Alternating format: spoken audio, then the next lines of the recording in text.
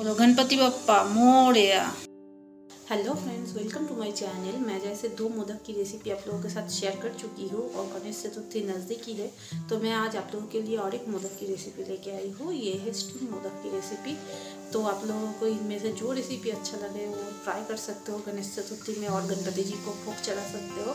तो चलो फिर दिखाती हूँ स्टीम मोदक के लिए हमें क्या क्या चाहिए।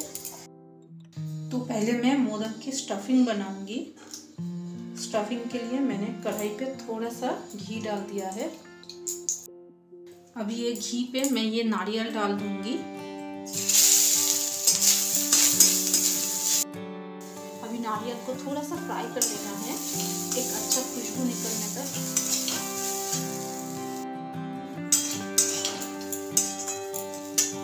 ये नारियल अच्छे से फ्राई हो गया है, इसमें से अच्छा एक खुशबू आ रहा है। अभी इसमें मैं ये गुड़ डाल दूँगी।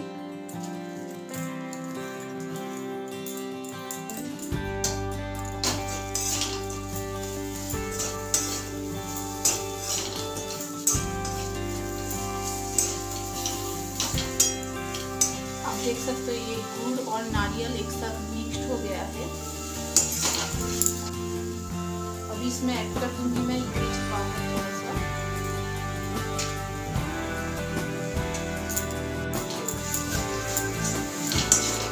तो अब देख सकते हो ये स्टफिंग रेडी हो गया है। अभी इसको मैं ठंडा होने के लिए छोड़ दूँगी। तो इधर मैंने मोदक के लिए आटा ले लिया है। मैंने ये कप से मेज़र करके एक कप मोदक का आटा लिया है। ये चावल का आटा है। अब इसमें मैं एक कप पानी डाल दूँगी कढ़ाई पे। एक कप आटे के लिए एक कप पानी।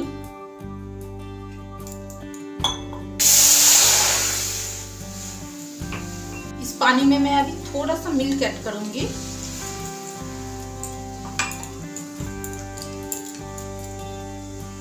डालूँगी थोड़ा सा घी।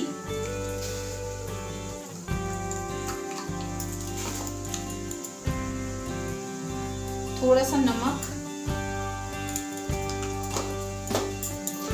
और डालूँगी थोड़ा सा शक्कर।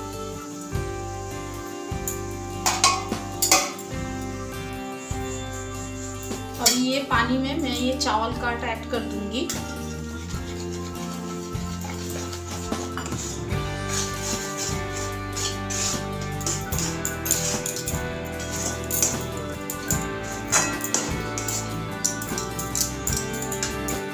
ये आटे को मैं अभी पाँच मिनट के लिए ढक दूँगी।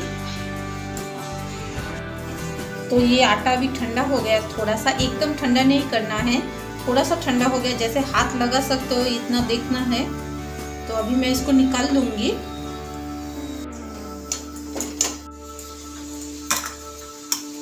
तो ये आटे को अभी अच्छे से हाथों से मसलना है।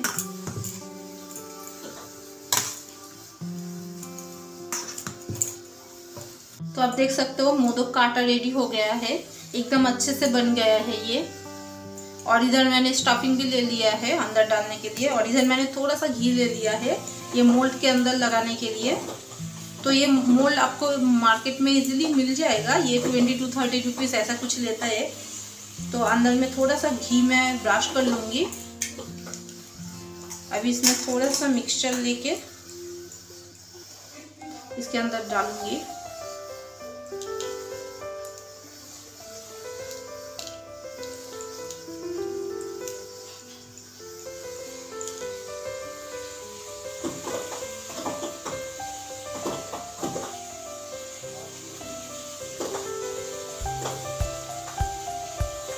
बीच में ऐसे होल बनाते हुए करना है।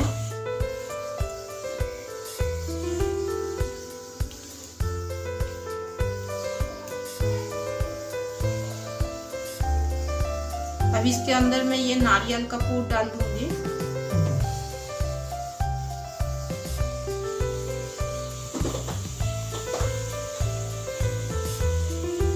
और पीछे से इसको बंद कर दूँगी।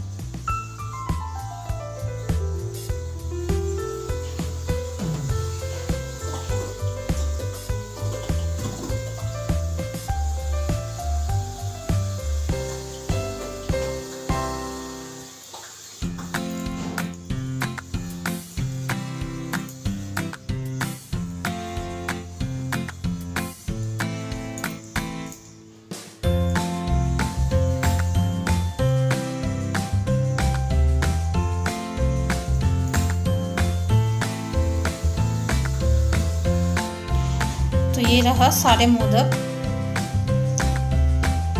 अभी इसको स्टीम करना है, सब रेडी हो गया है ये।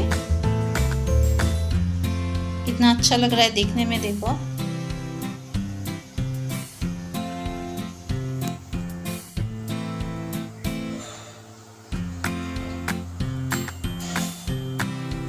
तो इधर मैं स्टीम करने के लिए इडली कुकर का यूज़ कर रही हूँ। अभी इसमें सब डाल दूँगी एक एक करके।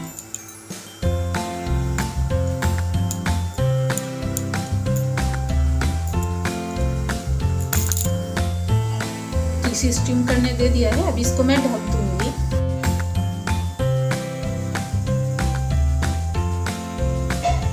तो ये रहा मोदक।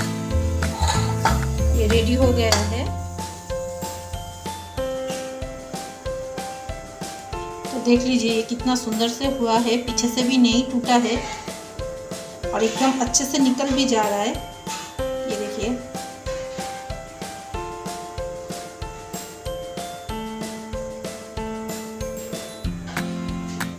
ये देखिए, एक भी नीचे से खराब नहीं हुआ है और फट भी नहीं गया है।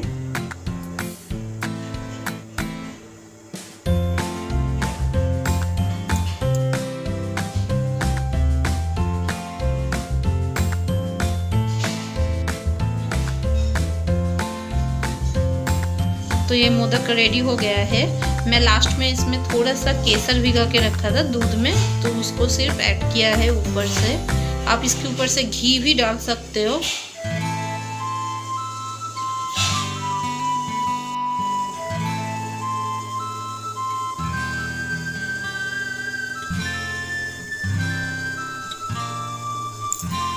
तो आप लोगों का मेरा ये मोदक का रेसिपी कैसा लगा कमेंट करके ज़रूर बताना। अगर वीडियो अच्छा लगे तो please subscribe my channel thanks for watching my videos मिलती हूँ आप लोगों से एक नए वीडियो के साथ। तब तक के लिए बाय बाय